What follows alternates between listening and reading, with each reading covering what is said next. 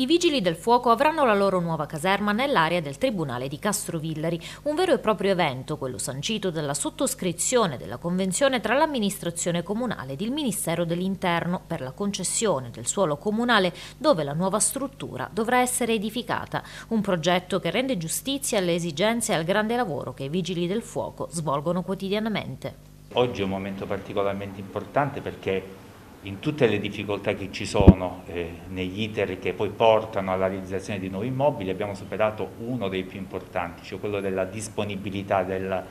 del sito che spesse volte è motivo di blocco e, e, di rallentamento, soprattutto quando ci sono espropri o altre situazioni che possono essere poi oggetto di contenziosi e portano poi tante volte a eh, far stagnare le idee progettuali e a rallentare il processo. Noi questo l'abbiamo superato e quindi siamo ben contenti di aver raggiunto questo primo obiettivo. Svolgono una funzione fondamentale perché sono presenti su tutto, su qualunque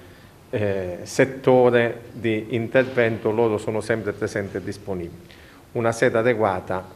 penso che sia necessario anche,